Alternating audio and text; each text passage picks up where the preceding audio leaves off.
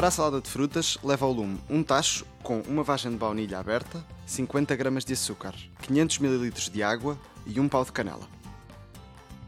Corte 2 kiwis, meia manga, uma maçã Pink Lady, um ananás e um maracujá. Verta a calda de baunilha sobre a salada, misture bem, cubra com película aderente e reserve no frigorífico. Para o granizado, leva ao lume um tacho com 500 ml de água, 80 gramas de açúcar e hortelã picada a gosto.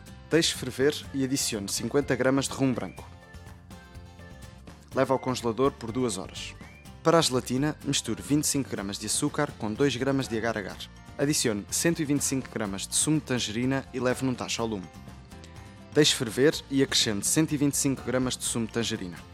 Divida por copos e leve ao frigorífico.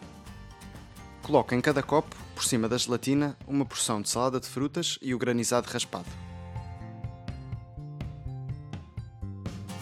Decore com folhas de hortelã.